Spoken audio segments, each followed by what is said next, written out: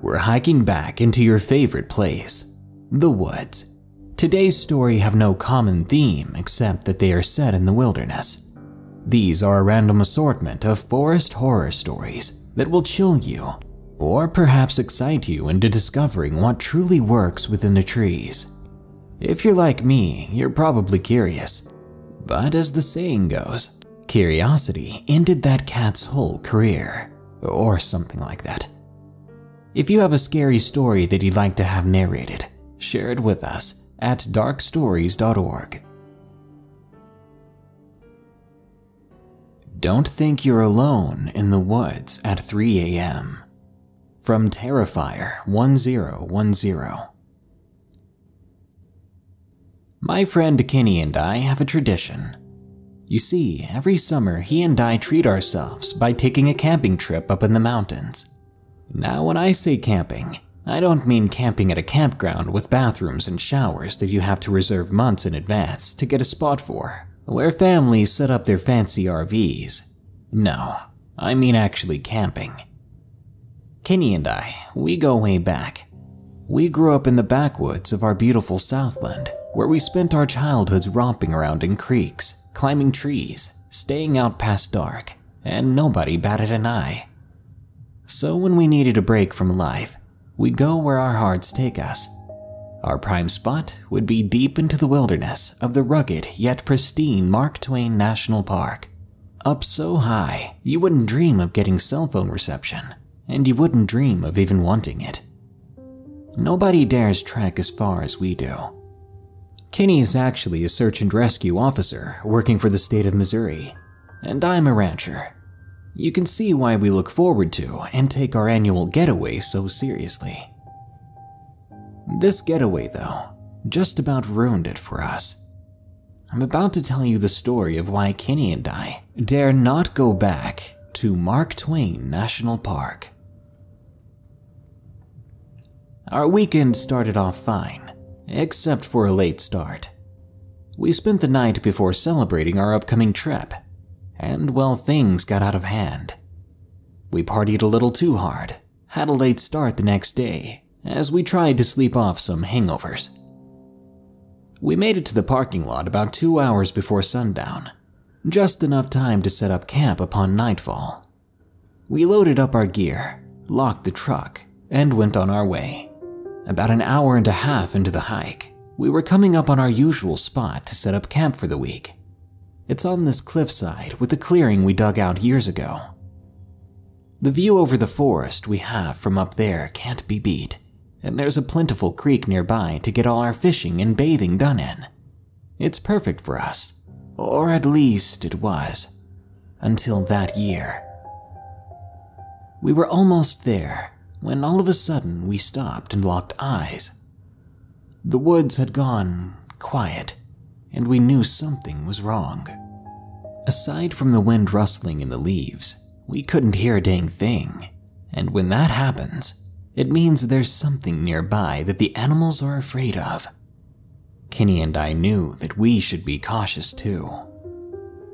We weren't interested in wasting time though, so instead of continuing on towards camp and setting up our tents, we dropped our packs at our feet and fixed up our rifles, prepared for whatever may come our way. We stayed there for hours, waiting for the sounds to return, but they didn't. It was soon 3 a.m. It was absolute darkness. A smell came over us. The closest I could describe this odor would be what comes out of an overflowing outhouse that's been rotting all summer. But it wasn't a skunk, or anything we've gotten used to in our years camping here. This wasn't normal. Moments later, the ground began to shake. There was a noise, but it could have been the sound of our blood rushing in our ears. We could feel our cores trembling with the vibrations of the earth rising through our feet. Something was coming down on us that our ears weren't tuned in to hear, but we could feel it, a beating drum in our chests, like thump, the thump, the thump. But there was something we could hear, and that was the sound of trees breaking. That was a deafening sound, the crack of a trunk that's been growing for centuries suddenly snapping. We readied our rifles toward the west from where the sound had come. We braced ourselves.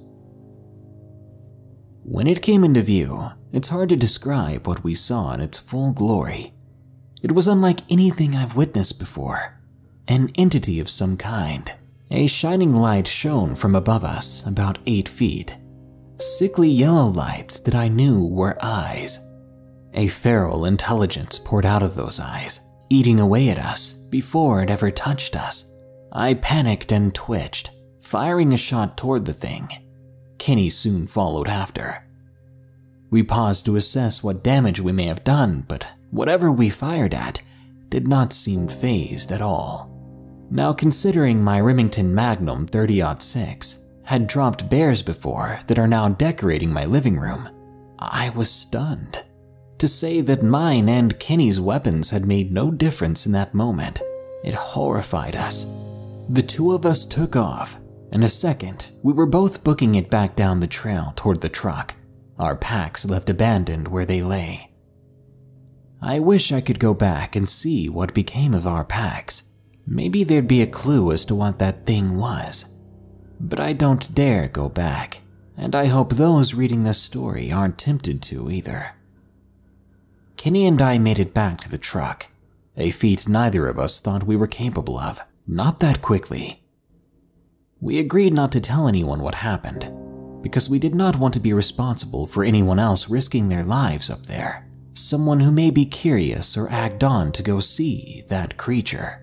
Besides that, we were sure that no one else would believe us. What we do know is that people aren't welcome there. Werebear of Estes Park from Griffin.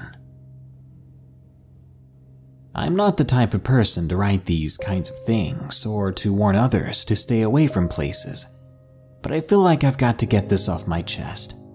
People need to know about my experience. Heaven knows I was lucky to make it out alive. I'm a bagpiper who plays in a competitive band from Kansas City. In the early fall of 2016, the band would take a trip to Estes Park, Colorado for Highland games that they have up there. Being a native from Kansas and a young man of 17, I was used to the flat plains of the Midwest, where the weather was mildly consistent. But this was all very different when I traveled to Colorado, where tall mountains and vast forests were the norm. I'll never forget the first glimpse of the mountains as we approached. You could clearly see the outlines of the huge rocks in the sky, which was quite a bewildering sight. Upon arriving at the mountains, I took great care to notice the huge trees and rocks with rivers that flowed down them. I was thinking this was the closest I'd get to prehistoric America. I drove up with my two bandmates, Ethan and Jim. They were both pipers themselves and happened to be father and son. Ethan was my age, and Jim, of course, was much older. But we managed to have the best time riding in that car with no air conditioning jamming out to bagpipe music. To this day, we have remained best friends. The plan was to arrive on Friday, where we would stay at the YMCA. On Saturday, we would play the morning parade and our first contest. On Sunday, we would play our second contest and leave on Monday. Highland games are usually spread over the course of a weekend, where a band would play two contests, as well as massed bands both days. The first two days were spent getting our instruments set to the climate and altitude. As we would all learn, our pipes did not do well at higher altitudes, being from Kansas. I was responsible for a lot of the tuning that went on in the pipe corps, so unfortunately I was subject to a lot of stress, trying to get two bands each playing two contests, as well as massed bands all set to play. I was also having a massive headache that only copious amounts of water could cure. I also attributed this to the altitude. After our first contest on Saturday, we all returned to the hotel, tired, hungry, and dehydrated. All the guys got together in the hotel lobby for some drinks and laughs to settle the mood. I, however, tried to escape my headache by going on a peaceful walk around the YMCA. Ethan asked if he could join me, and I said yes. He and I talked about the day as well as some funny things to make us laugh, We made our way slowly around the parking lots and recreational trails. The sun had long since set, and we could begin to hear the cries of deer and possibly elk in the forest. If you've ever been to a national park, you'll know that the tree line in the parking lot is separated only by a few feet of badly mown grass, and this is where Ethan and I had begun to gravitate towards, as our lodge was in this general direction. The night air felt cool and relieved me of my sunburn and headache for a while, but then it became chilly, and soon we were both shivering. Ethan and I were in the middle of a conversation, probably talking about girls or something. As we approached the lodge, we could hear the laughter and joyous giggles of our pals, but I also heard something else among them. A distant howl, much like a wolf's, but deeper and mixed with something more guttural, more reptilian. I heard it echo from a hill in the distance, as I turned in its direction, a flock of birds scattered away from the trees where the sound had come from. As soon as I heard the sound, I shushed Ethan in the middle of his sentence. What? he asked. Did you not hear that? I answered. Apparently not. What was it? We stood in silence for a moment to see if it might happen again, but we were met with only the wind whipping through the tree branches. It's probably nothing, I said. Maybe just a deer or something. I tried to brush it off and take my mind off of it. We resumed our conversation as we entered the lodge. We were greeted by our bandmates. Most of them inebriated or slightly tipsy, set us down and made us join in on games and stories. As the night dragged on and the crowd of drunken pipers and drummers became slimmer, I still couldn't forget about that sound. I had decided that I needed to go out again and see what I could find out about it.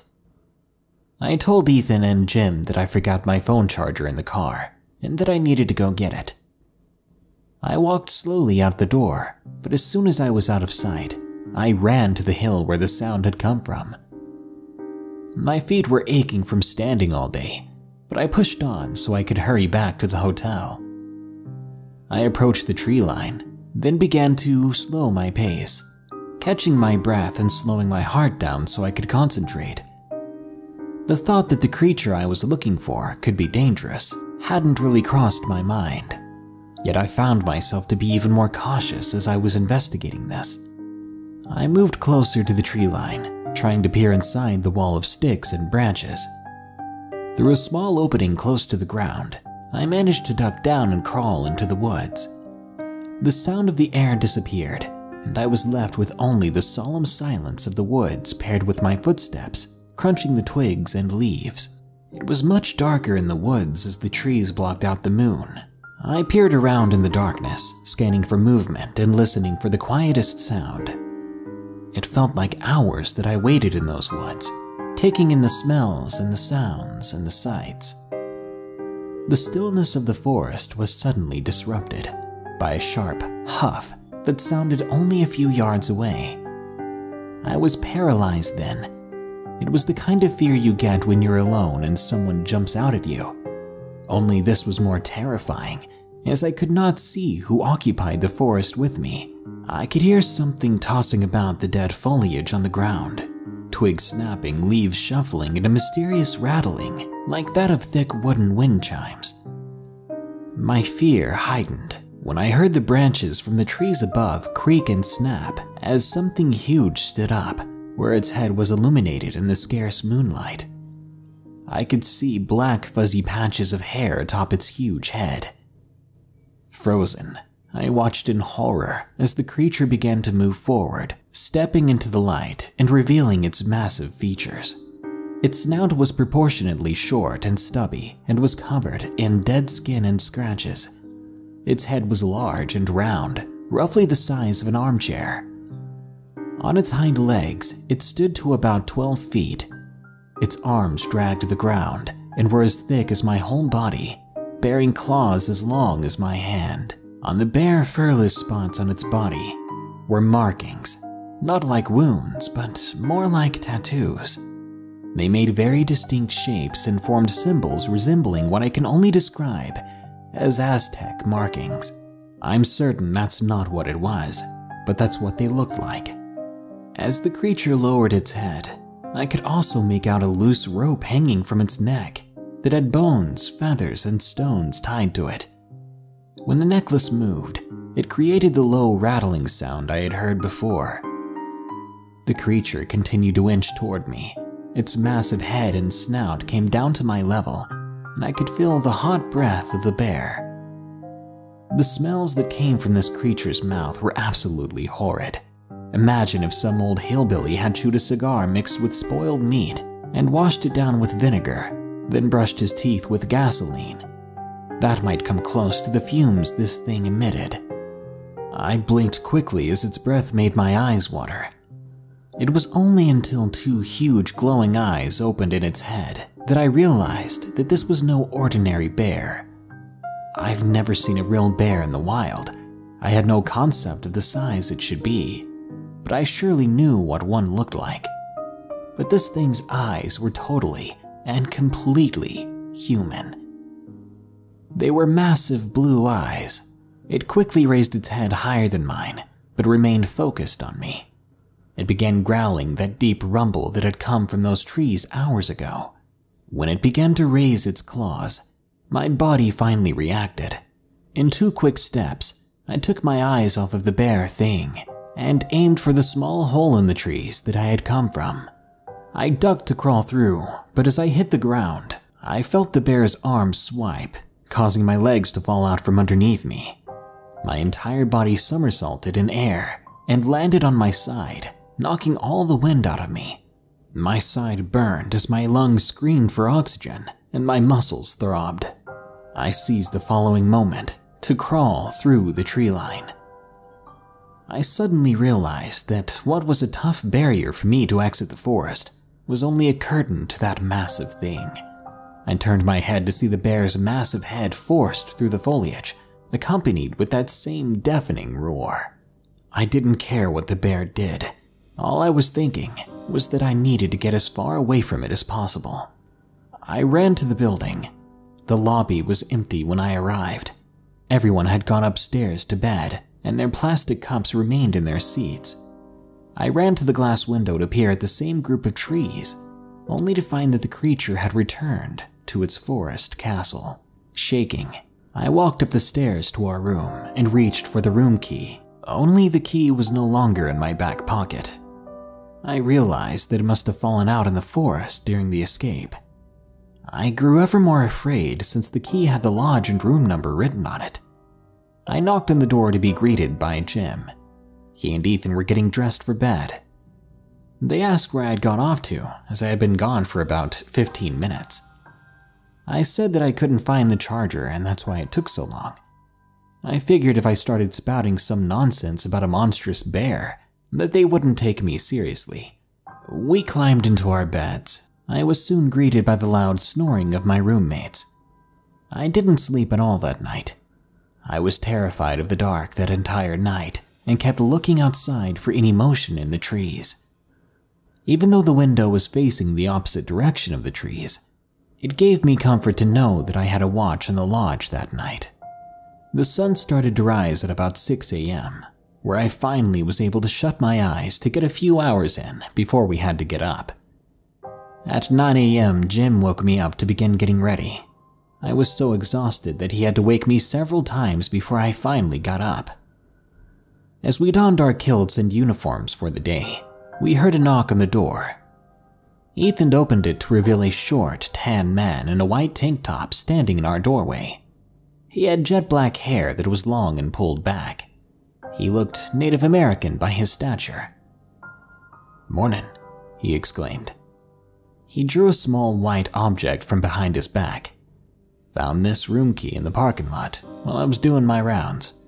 Just thought y'all should be wanting it back. I stood in absolute terror as I began to recognize some of the man's features. The patches on his skin that looked like eczema, and the tribal tattoos. The same things I had seen the night before on that bear. He was even wearing the same necklace. Ah, this must be Griffin's key, Ethan said.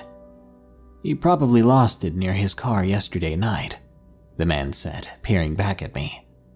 Ethan turned around and placed the card in my hands. The man reached forward and grabbed my hand to shake it. I'm one of the caretakers here at the lodge.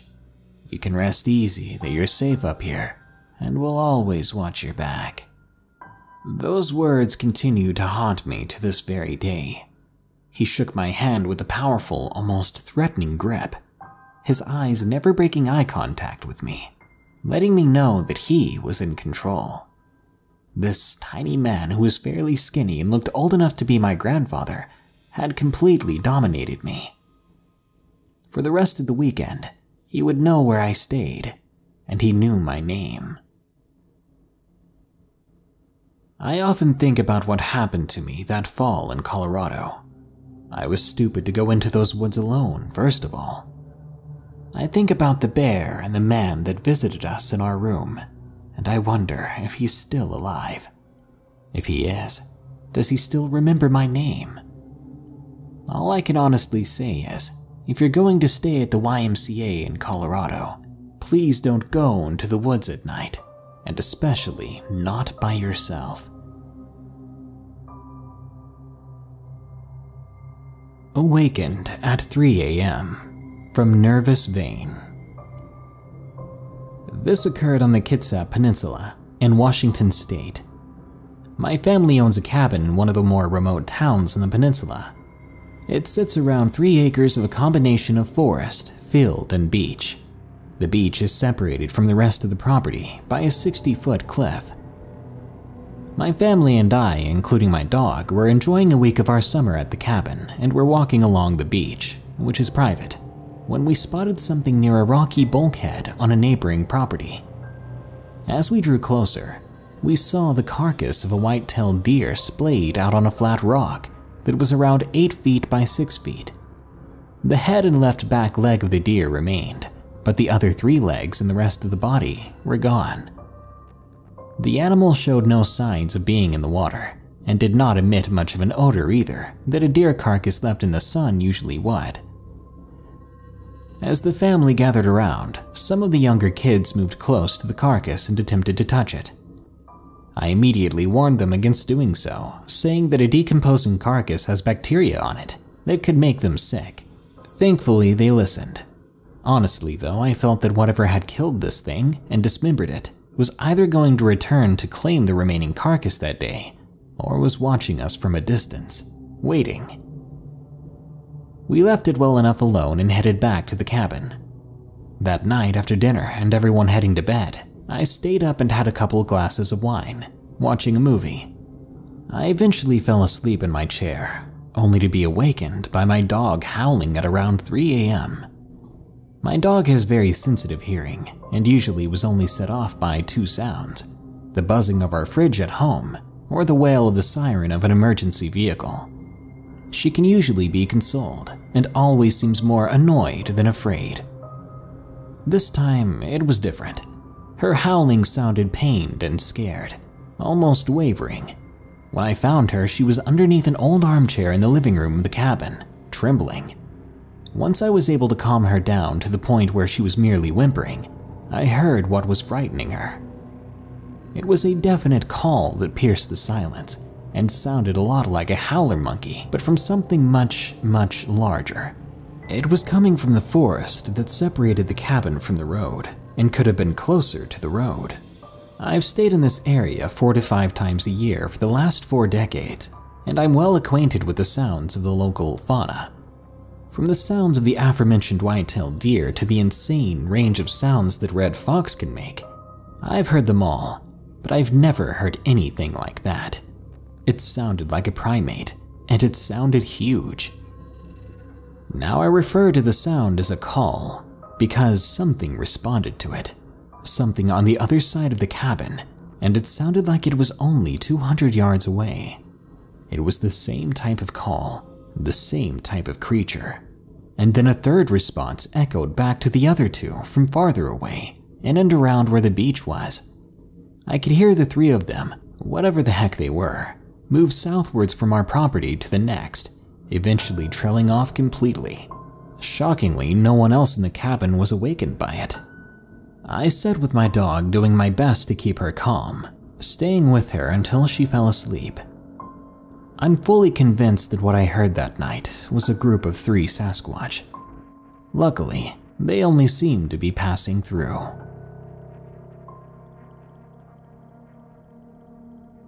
The Creature on the Dark Road from Marit. It was a late evening on a hot summer day around 1 a.m.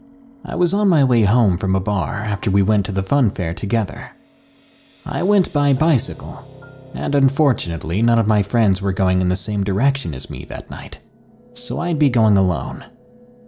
I tried going the long way, but the road was closed, and I couldn't get past it, not even on foot so I had to go the long way. It was a winding road where I had to cross a point from where there were no lights, just woods. I tried biking as fast as I could, but midway my bicycle lights began to flicker out, and the air grew very cold. I felt a little spooked, honestly, but I shook it off, as I thought it was just a breeze, even though upon leaving it was still 98 degrees out. I started biking faster, because I knew my light was not going to make it. With all the light I had left, I stopped long enough to get some new batteries out of my bag and put the new ones in. I thought I was good to go, but about an hour later my lights were shutting off again. I was now in the dark at 1 a.m., in the middle of nowhere, with no homes near me for at least a mile. I started walking with my bicycle in my hands, being careful about every step at this time, cell phones had no flashlights on them, and my phone was not charged and died before leaving the bar. I was now sweating, feeling watched from all around me. Suddenly, the forest went silent. I took a quick look over my shoulder, and what I saw next made my heart jump from my chest. Two big yellow eyes were right behind me, but when I blinked, they were gone. I told myself I'm just seeing things, relax, it's just my imagination. The moment I said that in my mind, a loud, piercing scream came from one side of the woods. I was now panicking because that scream did not sound human. It didn't even sound like it came from a normal animal. I had goosebumps all over, and I was having trouble breathing. I was running with my bicycle in my hand straight ahead, scared because I couldn't see the thing that was following me. Then all of a sudden, there was a light coming from behind me, and I thought it was a car. But when it came closer, I saw that it was a woman in a long white and red dress with dark long hair, black eyes, and a mouth that was agape and open, screaming right at me. At that moment, I lost it. I jumped on my bicycle and started pedaling away. I didn't care if I hit something. I just wanted to leave this place. I kept going and going, even after I couldn't see her anymore. When I saw lights in the distance, I rode straight for them, and I was soon standing near a busy road. I started following that road on my bike, scared to death. After three more long hours, I finally made it home. What did I see? Who was that woman screaming at me? I pray I never experience anything like that again. Woman in the Woods from X Originals X. This took place in the woods near where I live in England. It was back in November of 2017. I enjoyed going out on late night walks with my brother or friends. I liked going out into the woods because it helped me reconnect with myself and nature. Usually me and whoever I take with me just go and sit on some logs. I was with some friends of mine. We had just gone out for a walk, and we wanted to go past where we usually stay at. As we got deeper into the woods, we got bored, so we started to listen to music out loud. Out of nowhere, after the third song, we suddenly heard a woman's voice asking if anyone was out there. At first, we ignored her, but she asked again, so one of my friends responded, Yes, are you okay? The voice replied no, and then there was dead silence. We didn't know which direction her voice was coming from. We then turned around and started to walk back when I felt like someone was watching us. So I messaged the group to ask them if they feel the same way, and they did. Our pace began to pick up, but we soon heard the voice once more. She asked, Why are you children alone? Casually but cautiously, we replied, saying that we were just out for a walk. We soon saw the woman, though. She was just standing there in the woods. She was tall, slim, and had pale skin. Her hair was dark brown, but what was disturbing was that her eyes were red and there was blood dripping from her mouth. We asked if she was injured or lost. She didn't reply this time until she looked at my female friends and finally said, This is my home, and I think you are lost. She began to walk away, and we took the moment to run, all the while we heard the woman's laughter in the forest around us. When we exited the woods, we saw the woman again somehow ahead of us. She was sitting on a rock brushing her hair. We didn't want to provoke her, so we stayed our ground. We started to ask more questions like how she was able to get here before us and why she was following us. Instead of a normal response, she made this weird throaty noise, like she was trying to clear a dry throat.